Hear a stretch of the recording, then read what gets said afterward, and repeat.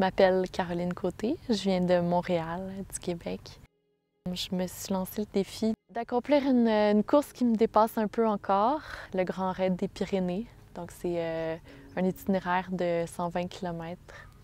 Euh, il y a 7000 mètres de dénivelé positif. Euh, au Québec, j'ai jamais couru dans des circonstances comme ça.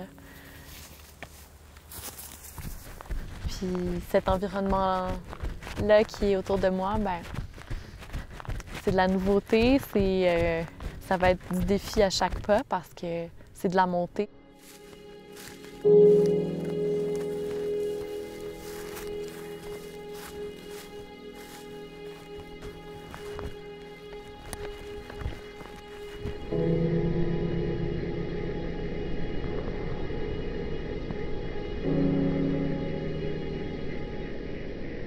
Le trail running, pour moi, ça représente euh, la vitalité. Ça représente aussi le, le courage à chaque jour de se lever, puis de, faire une petite distance ou une grande, c'est toujours, euh, toujours de me dire, OK, ben je l'ai faite, puis c'est gage d'accomplissement parce que il y a des journées où euh, j'irai jamais courir, puis pourtant, je me dis, OK, il faut que j'y aille. Euh, chaque fois que j'arrive à la fin d'une course, ça me permet de, de, réaliser que hum, je l'ai faite. Donc, c'est un, un, défi pour moi qui est, qui est grand à chaque fois, même si c'est une petite course ou une longue course.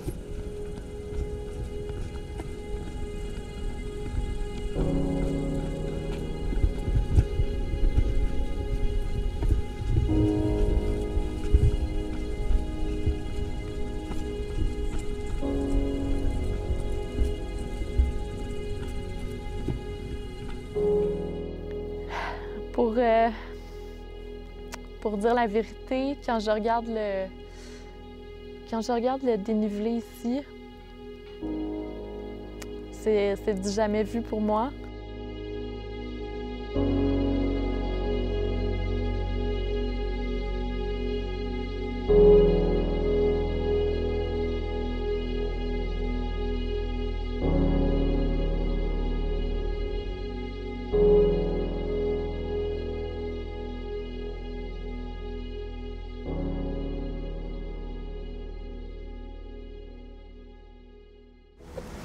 Coupe un, un, petit peu Juste un peu Je pense que c'est ça. Ça, on va donner ici, ça. Ah. ouais. Là, ce, normalement, il n'est pas en morceaux celui-là C'est bon. Ça, ça va me servir euh, quand même assez, demain.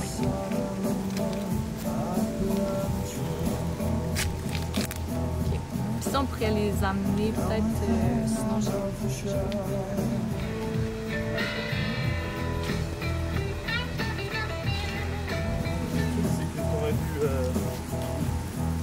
qu'est-ce que je voulais dire, c'était pas bon. Je sais pas, une partie comme ça.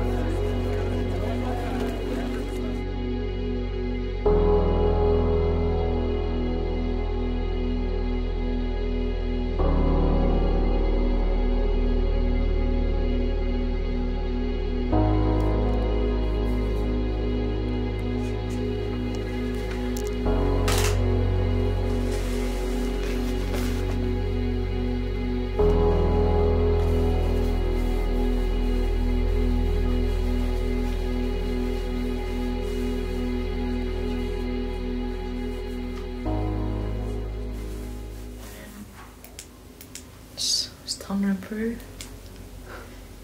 Mais on dirait que je suis rendue là, puis je l'ai visualisé souvent. Fait que c'est comme. C'est un peu euh, l'achèvement des, des mois de, de, répétition avant une générale. Que de l'envisager souvent, souvent, souvent, ça fait que t'es plus calme. Mais ça reste que quand le moment vient, il est bientôt 10 heures, dans, dans une heure je pars. Alors c'est vraiment... Euh, ben, c'est là que ça se passe, alors je suis vraiment... C'est de l'anxiété, mais de l'anxiété positive. Il y a peut-être pas besoin de charger à plein d'eau hein, sur le premier tour, hein, parce que le premier tour, il y a la montée jusqu'en haut, mais après, t'as la redescente, c'est pas... Ouais. Bon, hier, il faisait moins chaud quand je l'ai fait, mais c'est pas... Bah, pas faire chaud, non Non, non, c'est sûr. Peut-être pas besoin de beaucoup, beaucoup d'eau pour le premier tour. Ce sera surtout entre là et Jadra. Le public, pas mal de monde, très nombreux. Aujourd'hui, je vous le rappelle, on va avoir euh, une concentration d'environ 2000 personnes hein, sur, euh, sur euh, la station.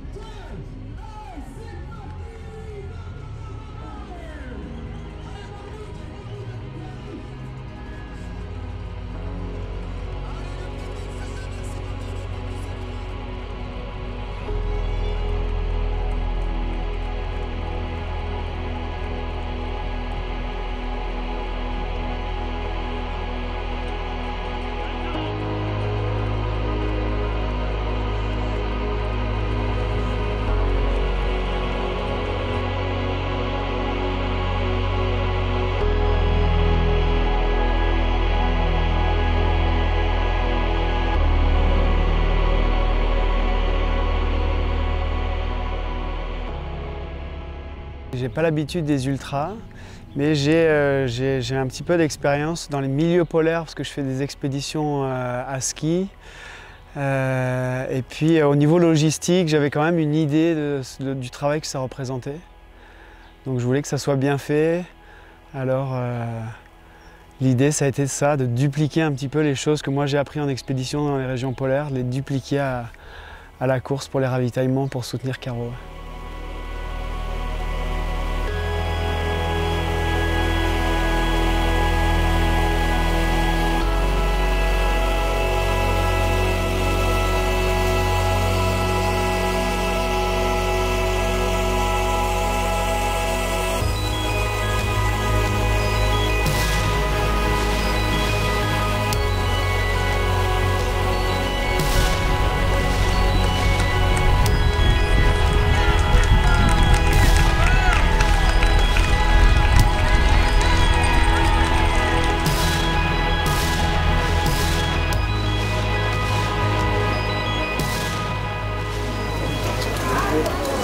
Là vers le lac des Gloriettes. Ça bouge beaucoup déjà là-dedans.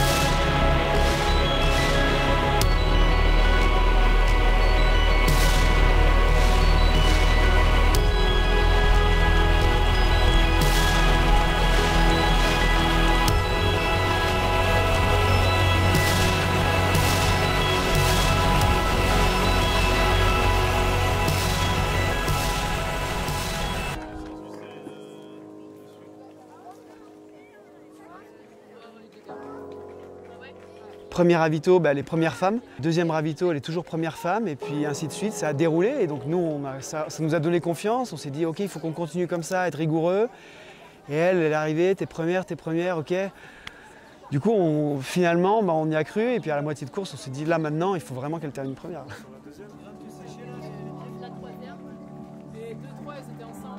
J'avais un stress constant de me faire dépasser par la deuxième femme. Je savais qu'elle était vraiment bonne en descente. Dans ce genre de course, euh, avoir quelqu'un qui nous challenge de cette manière-là, c'est toujours bon. Puis c'est un soutien de me dire, ben ok, je vais aller encore plus loin. Je vais me dépasser encore plus.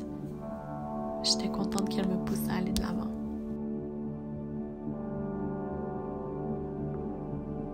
Le soleil m'a abandonnée. J'étais dans une grande descente.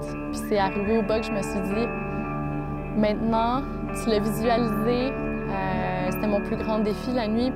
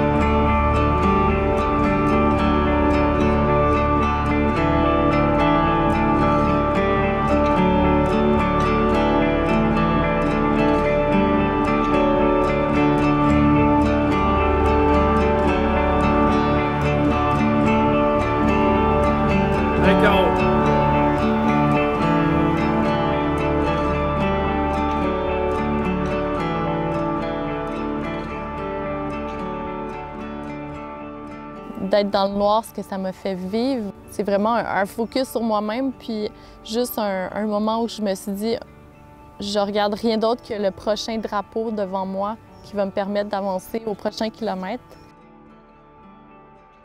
C'est un moment où il fallait que j'accepte d'être euh, dans l'effort. Puis euh, je suis arrivée à des sommets qui étaient les, les, les plus grands que j'avais euh, traversé de ma vie.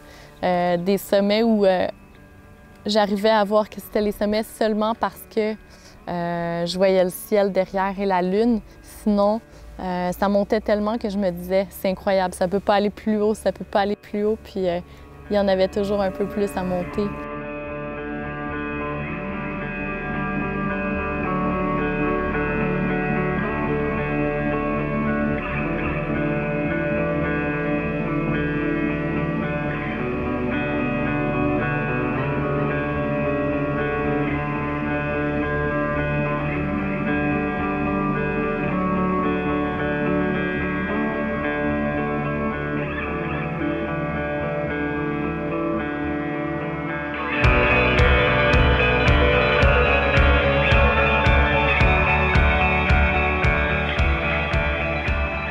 Je me rappelle euh, à 7h30 du matin environ, c'est là où j'ai vraiment reçu toute la, chaleur puis la lumière euh, du soleil qui venait de, réapparaître.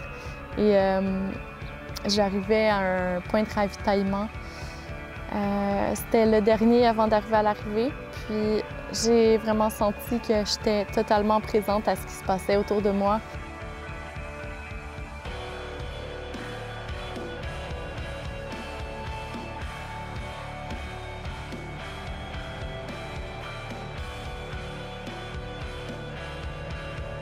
Quand elle est arrivée là au resto Merlan, là, le dernier ravito, kilomètre 108, elle sortait de la nuit.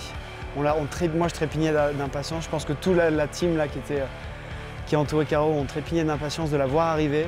Et on s'est dit, ok, ce ravito là, il ne faut, faut pas qu'elle reste trop longtemps, il faut qu'elle trace, même si c'est dur pour nous de la voir comme ça. Ok, il faut qu'on applique le protocole et moi je gardais toujours ça en tête. Comme nature, c'est comme Ouais, mais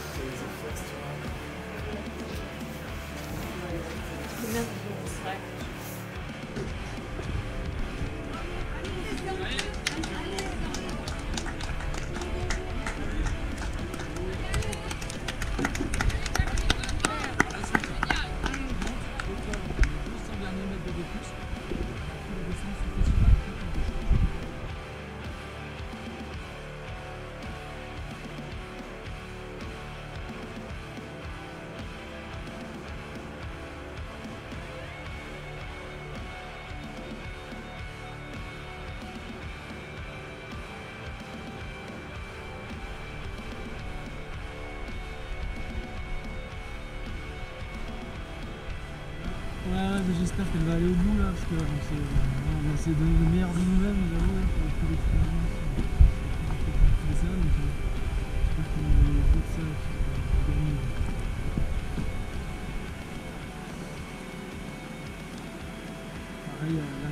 Pareil, elle a dû avoir peut-être un bon lot là sur le Nouvial comme c'était dur et que c'était de nuit. Puis là, sur la dernière montée, là, elle va voir le village en bas, puis ça.